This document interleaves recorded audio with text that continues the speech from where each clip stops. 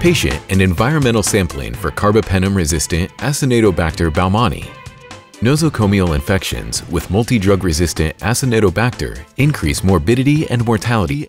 Prevention measures and care bundles can limit the spread of CRAB and eradicate healthcare-associated CRAB infections.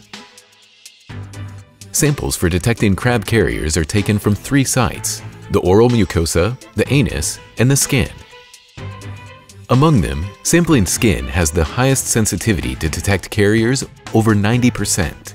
This video demonstrates how to take a sample from the patient's skin and from the environment as part of active surveillance. Skin sampling upon admission to ICU for active surveillance. Sampling procedures and equipment. Prepare all the necessary equipment according to the sampling plan and place on a disinfected work surface.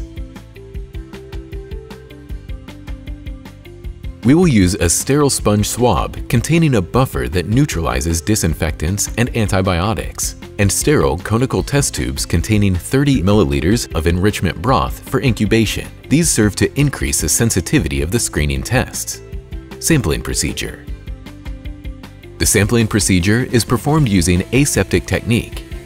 Before and after sampling, we will perform hand hygiene, and use protective measures in accordance with standard precautions and isolation procedures.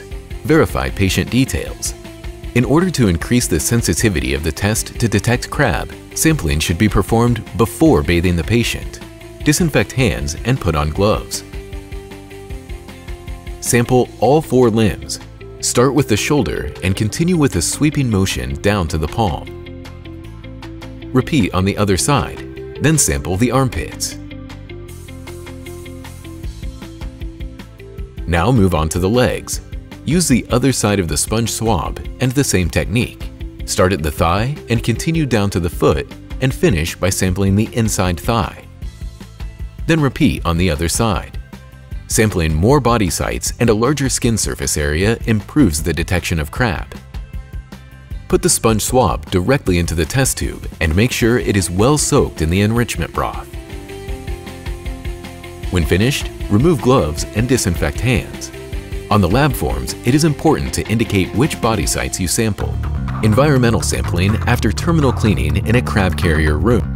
Choosing which objects to sample depends on the reasons for sampling. For example, sampling might be performed to locate the source of an outbreak, to audit the quality of cleaning of the patient environment, equipment, and common surfaces, or to examine whether patient care is being performed according to principles of infection prevention. When we want to detect the source of an outbreak that may have originated in equipment, we should sample all of the equipment and instruments in the suspected area. We will use a separate sponge swab and test tube for each item we sample. We will focus on high-touch surfaces. Avoid touching the specimens. When the purpose of the sampling is to find the source of an outbreak or to check whether patient care is being performed according to the principles of infection prevention, we should sample shared equipment and carts. It is important to indicate the source of each sample on the lab forms.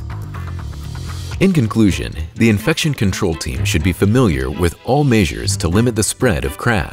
These include active surveillance by screening patients and the environment, isolating and cohorting carriers, chlorhexidine bathing, using closed suction systems for ventilated CRAB carriers, and reducing the use of antibiotics.